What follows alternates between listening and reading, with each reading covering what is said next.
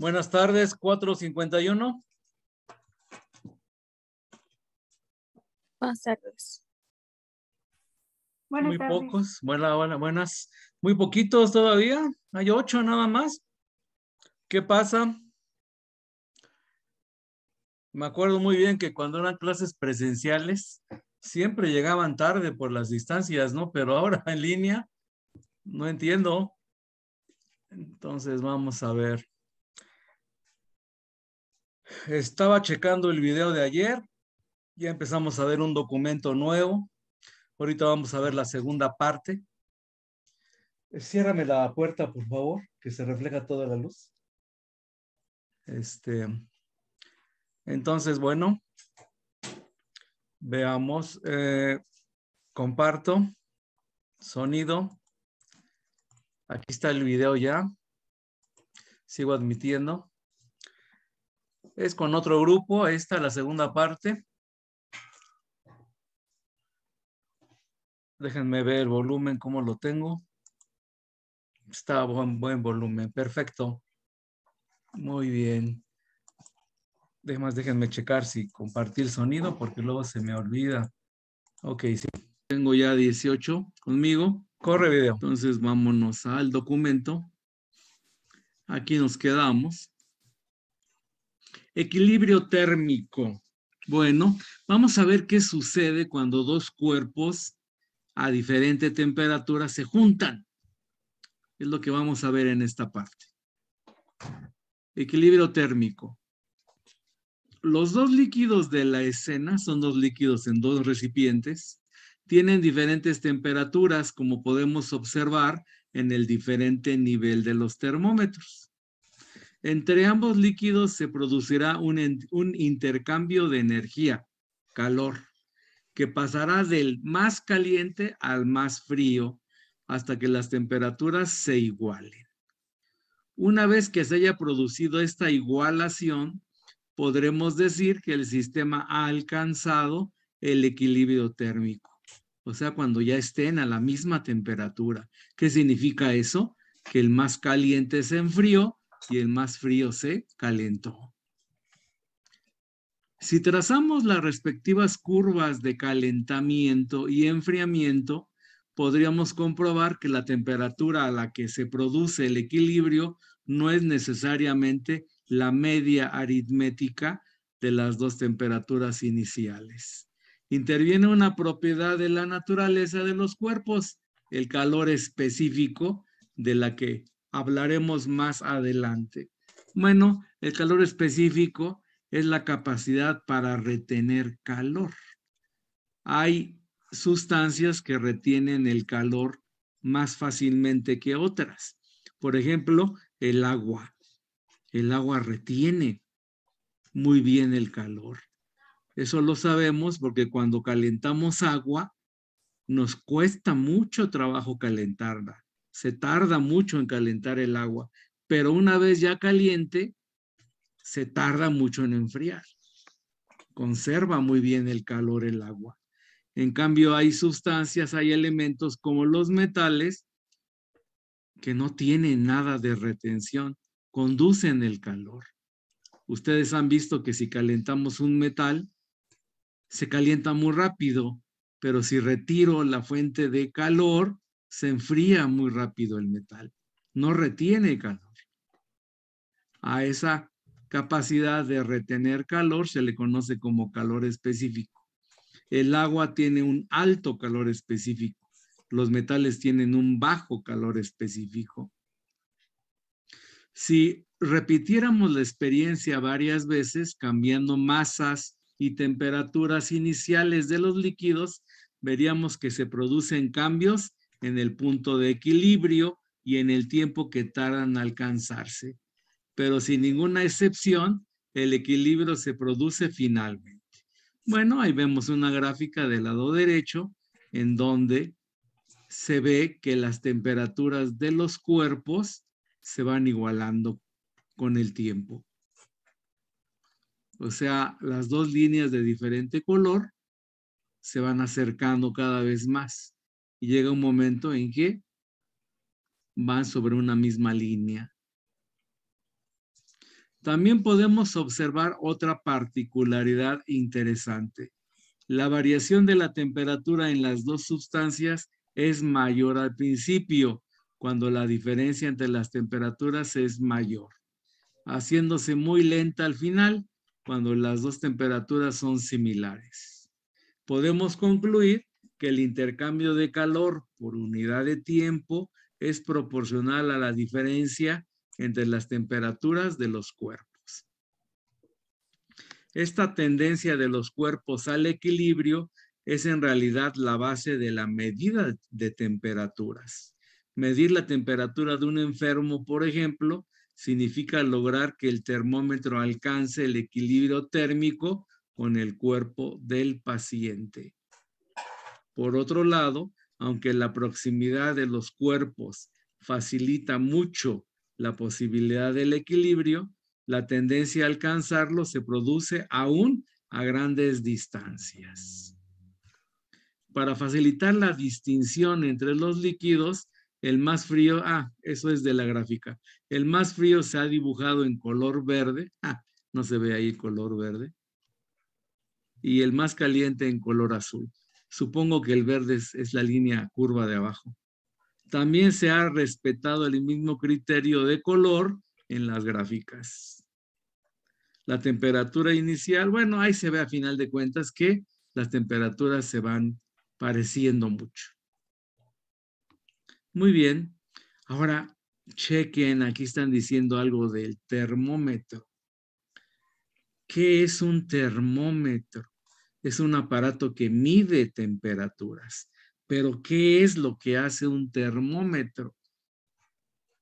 Chequen, yo pongo el termómetro en contacto con el cuerpo que quiero medir. ¿Y qué sucede? Pues a final de cuentas, el termómetro y el cuerpo van a llegar a la misma temperatura. Después de un tiempo, evidentemente, no es automático. Entonces, por eso es que los termómetros de mercurio se colocan en la axila, por ejemplo, y se espera un tiempo. Ya después de un ratito, se retira el termómetro y se ve lo que mide. Y esa temperatura es la del cuerpo que estoy midiendo, pero también la del termómetro mismo, porque llegó al equilibrio térmico a la misma temperatura del cuerpo que estaba midiendo. Por lo tanto, cuando yo leo la temperatura en un termómetro, estoy leyendo la temperatura del termómetro. Entonces, hay una definición muy curiosa del termómetro, que es el termómetro es un aparato que mide su propia temperatura. Vámonos a bajo. Transmisión y efectos de calor. ¿Cómo se transmite el calor? Creo que yo lo había mencionado, pero aquí está un poquito más explicado. El calor puede propagarse de tres formas. Conducción, convección y radiación. En muchos casos, los tres medios obran simultáneamente, pero cuando se trata de cuerpos sólidos en contacto, predomina la conducción. Si se trata de fluidos en contacto, predomina la convección. Y si se trata de cuerpos distantes entre sí, predomina la radiación. En el caso de la conducción, ahí está una ilustración del lado derecho, no todos los cuerpos se comportan igual. Los metales son buenos conductores y la lana o la madera transmiten muy mal el calor, por lo que se usan como aislantes. Por eso, cuando tocamos una superficie metálica y otra de madera, ya, ya lo mencioné hace rato, ambas a temperatura ambiente, la superficie metálica parece más fría. Como nuestro cuerpo está más caliente, transmitimos continuamente calor que se reparte por todo el metal. Sin embargo, como la madera es mala conductora, en cuanto la tocamos basta con con que la superficie en contacto con nuestra mano se equilibre con ella, aunque el resto de la madera continúe aún fría. Y ahí está el dibujo a la derecha. En la conducción, el calor fluye de la zona más caliente a la más fría. La más caliente se representa con rojo, la más fría con azul. Por intercambio de energía entre las partículas en contacto. La convección, a ver la revista que dice, dice, mm, podríamos preguntarnos si el sol nos transmite calor. Ah, no, eso ya es radiación. Entonces vamos a seguir aquí. La convección es responsable de fenómenos atmosféricos como las tormentas, que se producen cuando existe mucha diferencia de temperatura entre capas inferiores y superiores de la atmósfera. El ascenso del aire húmedo y caliente arrastra el vapor de agua que se condensa al llegar a zonas más frías. También es la convección responsable de las corrientes marinas, que tienden a mezclar el agua caliente de las zonas ecuatoriales con el agua fría de las zonas polares. Cuando calentamos un puchero con agua, la superficie de la olla y el agua en contacto con ella se calientan por conducción directa del calor. El puchero debe ser una olla, ¿verdad? Pero el agua del interior se calienta sobre todo por convección. O sea, la convección, aquí está el dibujo del lado derecho. En la convección, el fluido caliente tiende a mezclarse continuamente con el frío en forma de corrientes de material. Cuando el líquido se calienta, el que está más en contacto con la flama, se eleva, flota, se va para arriba y el líquido que estaba arriba debe cubrir ese espacio. Por eso se forman corrientes y a esas corrientes se les conoce como corrientes convectivas o corrientes de convección.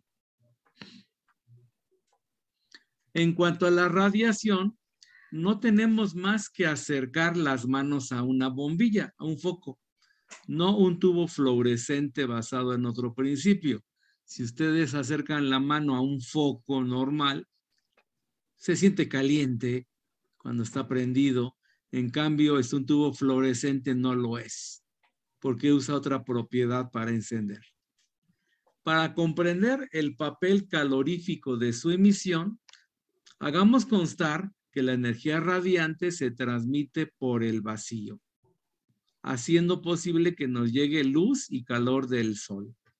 Todos los cuerpos emiten energía radiante, aunque los cuerpos fríos lo hacen de forma imperceptible nosotros también, también radiamos energía. Todos los cuerpos radian, tanto por su baja intensidad de emisión como porque la emisión es de tipo infrarrojo, invisible a nuestros ojos.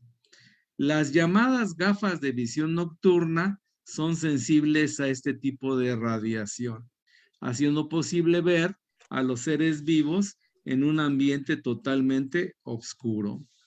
Ahora sí, vámonos arriba. Podríamos preguntarnos si el sol nos transmite calor por radiación, no tendría que calentarse la Tierra hasta que alcanzara la misma temperatura del sol. En realidad esto no ocurre por la propia emisión de radiación de nuestro planeta, o sea que la Tierra también está radiando energía. Recibimos la misma cantidad de energía solar que emitimos nosotros al espacio manteniéndose así la temperatura terrestre aproximadamente constante. Eso ya no está pasando con la contaminación, con todos los gases que tenemos. Estamos haciendo un efecto que se conoce como efecto invernadero. Parte de la energía que debería salir, que deberíamos radiar la Tierra, se regresa por los gases. ¿Y qué sucede entonces? pues que la tierra se calienta cada vez más y más. Eso es el efecto invernadero. Y eso es lo que está aumentando la temperatura de la tierra, lo que está calentando el planeta, lo que está derritiendo los polos. En el último siglo, la acumulación de los llamados gases de efecto invernadero hace, que la hace de la Tierra un emisor de energía ligeramente menos eficaz, por lo que la temperatura terrestre tiende a elevarse paulatinamente. En el epígrafe, para saber más, al final de la quizana, bueno, eso ya es del curso aquí de los españoles, explicamos más detenidamente este problema. Y ahí están las imágenes que ya vimos. Nada más no vimos la última. Dice, en la radiación, los cuerpos emiten parte de su energía térmica como ondas electromagnéticas. Esta emisión se hace normalmente en ondas infrarrojas invisibles, pero cuando la temperatura es alta, se llega a emitir radiación visible, el hierro al rojo, por ejemplo, o también este, las brasas de carbón, ¿verdad?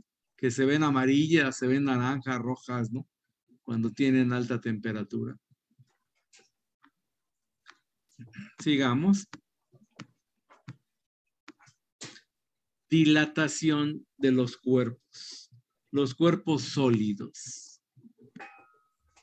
¿Qué pasa cuando un cuerpo se calienta? Se dilata, aumenta su volumen.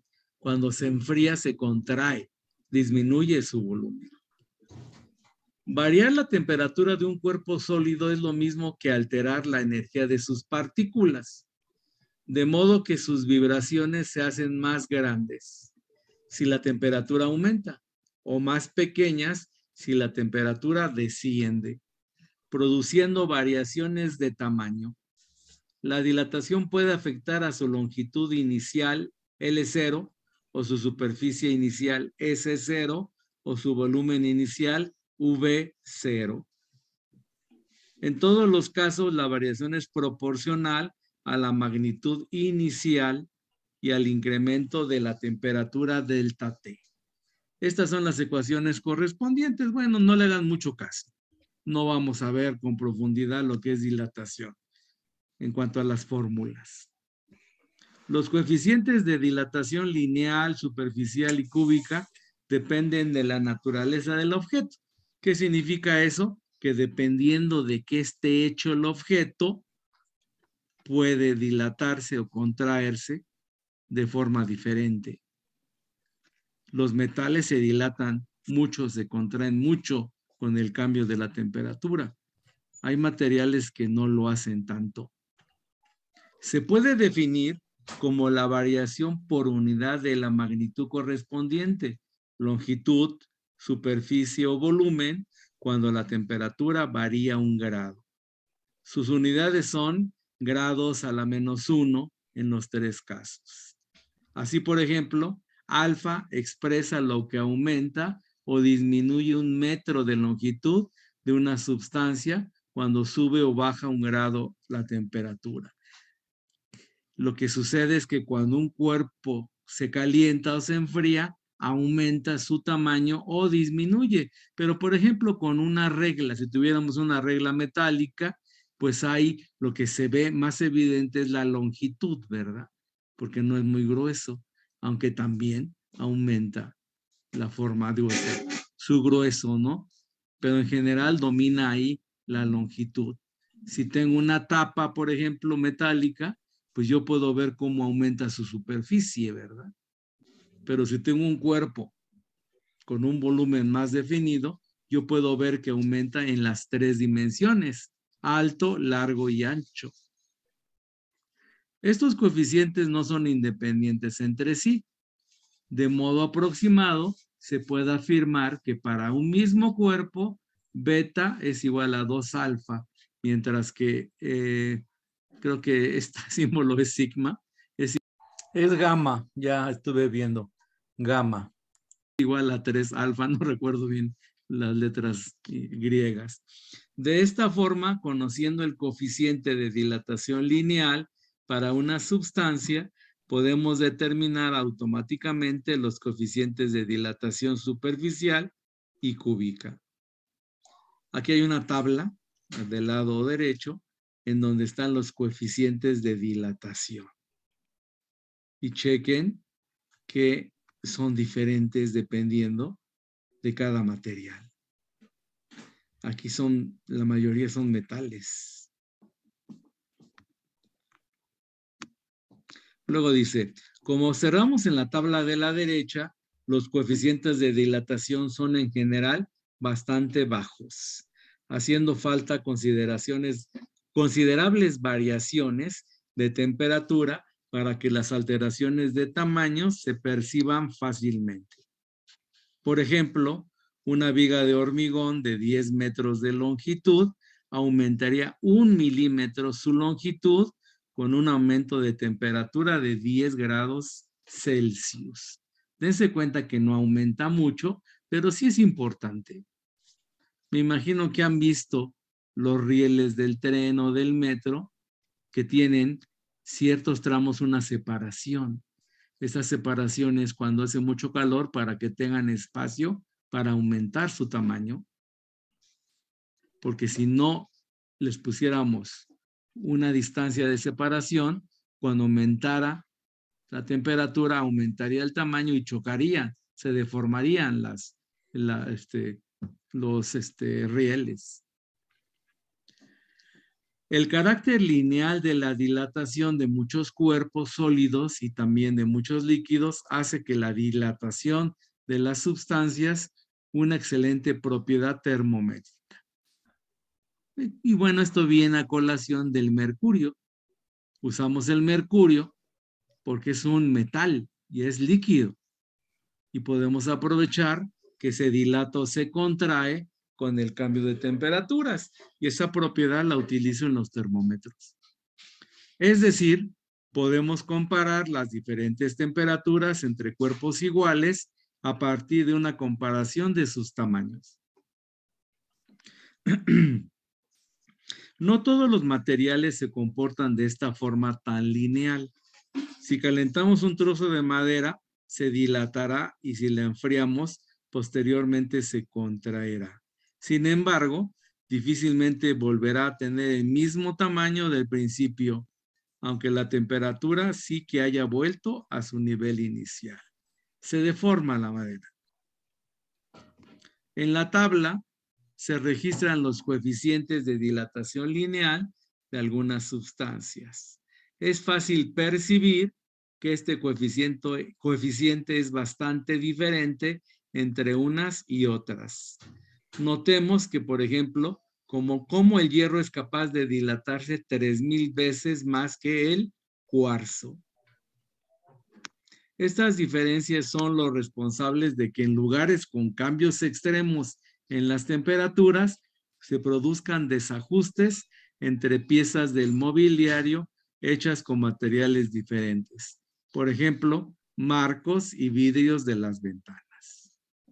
Pero también hay que tener en cuenta este coeficiente a la hora de diseñar algunos instrumentos de precisión. Un telescopio con óptica de cuarzo se dilatará unas 18 veces menos que otro con lentes de vidrio ordinario y será, por tanto, mucho más preciso para la observación astronómica, ya que se alterará muy poco durante las bajadas nocturnas de temperatura. O sea, que si aumenta o disminuye mucho la temperatura, el vidrio se dilata más, mucho más que el cuarzo. Por lo tanto, pues no medirá este, tan precisamente, ¿verdad? Como el cuarzo, que no se dilata tanto. Muy bien. La dilatación de los cuerpos. Ahora vamos a ver en fluidos. Los fluidos son los líquidos y los gases. En los líquidos y gases solo tiene sentido hablar de la dilatación cúbica del volumen, puesto que carecen de forma propia y se adaptan a la vasija, o sea, al recipiente que los contiene. En el caso de los líquidos es preciso que tengamos en cuenta la dilatación del recipiente. También hay que tomar en cuenta el recipiente. El líquido experimentará una dilatación aparente que será igual a la dilatación real menos la del recipiente. Si utilizamos un material con un coeficiente de dilatación mucho más bajo que el del líquido, podemos despreciar la dilatación de la vasija, del recipiente. En caso contrario, hay que tenerlo muy en cuenta, como ilustramos en la imagen de la derecha. Bueno, esto simplemente dice que, que siempre es mejor tener vasijas, recipientes, que se dilaten poco en comparación con el líquido que contiene, para que no influya, pues, mucho en las medidas. Es conveniente señalar el fenómeno de la dilatación anómala del agua. Eso es interesante. Esta sustancia tiene su máxima densidad a 4 grados Celsius de temperatura, el agua. Si enfriamos el agua por debajo de esa temperatura e incluso la congelamos, su volumen aumenta en vez de disminuir. Una vez que está solidificada, se recupera la normalidad. Es decir, el hielo a menos 10 grados Celsius presenta mayor volumen que el hielo a menos 30 grados Celsius. Por encima de los 4 grados Celsius, el agua también se dilata normalmente. Gracias a esta rareza del agua, las profundidades de los mares se encuentran a 4 grados Celsius. La presión obliga al agua a buscar su temperatura de máxima densidad. También los témpanos de hielo flotan en el agua debido a su dilatación anómala. Ahora voy a explicar esto, esto es interesante. Aquí voy a aplicar, voy a usar la plumilla del zoom. La dilatación anómala del agua es importantísima para la vida en la Tierra. Y voy a explicar por qué. A ver, aquí voy a aplicar aquí en este espacio. Entonces, vámonos a la plumilla del zoom y aquí, si yo tengo un recipiente con cualquier sustancia líquida, si yo la enfrío, se vuelve sólida en cierto momento y se va a hundir. Eso pasa con todas las sustancias, excepto con el agua. ¿Qué sucede cuando se congela el agua? Se forma una costra de hielo. Aquí, esto es hielo. Y flota con respecto al agua, no se hunde. Y además el hielo es un buen aislante. Entonces, mientras el hielo se encuentra a cero grados Celsius, el agua adentro, por debajo del hielo, se encuentra a 4 grados Celsius y eso permite que la vida exista. Si se hundiera el hielo como todas las sustancias, pues todo lo, lo que está dentro, se moriría, se congelaría. Entonces, esta dilatación anómala es importantísima para que haya vida en la Tierra. Muy bien, borro. Entonces, seguimos leyendo. Respecto a los gases, su carácter compresible hace que pueda no existir dilatación al aumentar la temperatura. Para colocarnos en una situación comparable a la de líquidos y sólidos, debemos mantener el gas a presión constante al subir o bajar la temperatura. El ejemplo típico sería un gas encerrado en un recipiente cilíndrico con un émbolo móvil que pueda ascender y descender según el volumen del gas.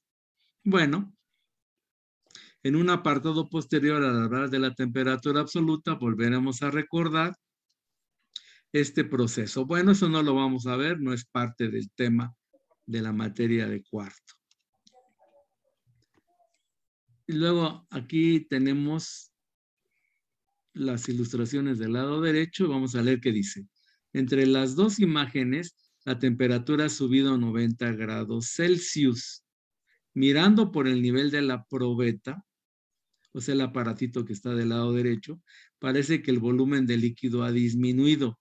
En realidad, lo que ha ocurrido es que el vidrio de la probeta tenía un coeficiente de dilatación mayor. Ah, ya, ya, ya entendí. A ver, este lo voy a explicar, pero no con la probeta, con un termómetro. A ver, vamos a ver la plumilla. Supongamos que tengo aquí un termómetro. Bueno, lo voy a hacer feo, pero no importa. Aquí está el mercurio. Y por aquí sube, el mercurio baja, ¿no? Y aquí está la graduación del termómetro. Está espantoso el dibujo, pero esto me sirve para explicar.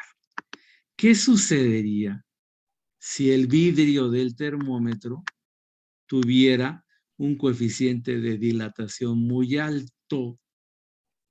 Pues entonces cuando se caliente el termómetro, se va a dilatar más rápido el vidrio que el mercurio y en lugar de subir el nivel del mercurio, bajaría, ¿verdad? Porque se haría más amplio el espacio de la ollita donde está el mercurio. Entonces, yo necesito que el coeficiente de dilatación del vidrio sea menor que la del mercurio para que cuando yo caliente el termómetro suba y no baje al principio. Eso sería con un termómetro. Aquí usaron otro aparato. Entonces, bueno, borro. Entonces, es importante saber escoger los materiales con los que trabajamos. Bueno, cambios de estado. Bueno, nosotros sabemos, ¿no? Que hay diferentes cambios de estado. Nos quedan ocho minutos y nos alcanza. Ok, vamos a explicar entonces. Si yo tengo aquí un sólido, lo voy a representar con un cubito que tiene forma definida. Aquí tengo un líquido, lo voy a poner en una jicarita. Aquí está el líquido. Líquido, sólido, creo que llevan acento. Yo soy remando con los acentos y un gas. Esos son los tres estados en la naturaleza. Hay otro que se conoce como plasma, pero eso no lo veo en la naturaleza. Solamente voy a trabajar con estos tres, porque el otro es plasma, pero no, no lo voy a ver. Entonces, el cambio de sólido a líquido, cuando yo caliento un sólido, se convierte en líquido. Se conoce como, como fusión. Es como este, los quesos fundidos, ¿no? Se funden, se convierten de sólidos a líquido. El cambio de líquido a gas se conoce como ebullición. Cuando hierve el agua, cuando ebulle el agua, se convierte de líquido a gas. El cambio de gas a líquido se conoce como solidificación. Ojo que ahí me equivoqué. Y en algunos textos usan el término congelación.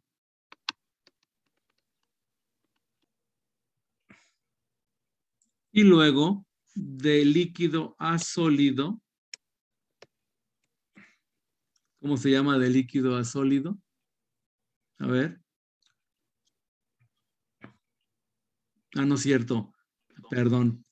Ah, sol, ya, ya la regué, ya la regué. A ver, solidificación es de líquido a... A ver, aquí ya la estoy regando.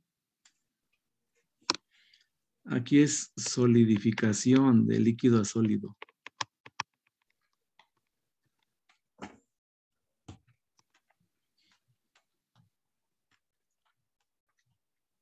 Y luego me falta de gas. ¿Ese líquido no es condensación? Sí, sí, sí, condensación, sí. Ya, ya la estoy agregando aquí. Ah, condensación, todo por hacerlo de memoria. Y ahora, hay otros dos. Es de sólido a gas sin pasar por líquido, que eso se llama sublimación. Y el ejemplo típico es el de hielo seco, que pasa de sólido a gas sin pasar por líquido. Y el inverso, que es de gas a sólido sin pasar a líquido, se llama sublimación inversa.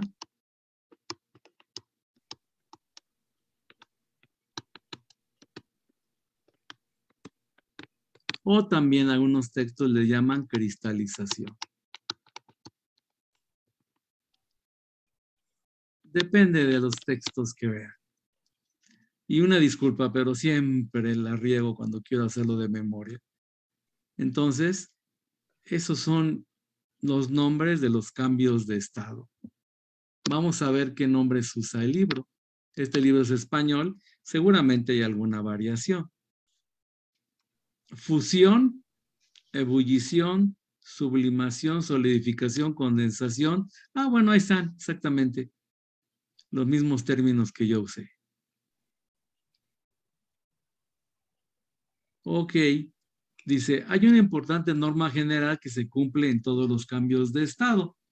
Durante los cambios de estado, el calor recibido o perdido no se emplea en variar la temperatura, sino en alterar la estructura interna del cuerpo.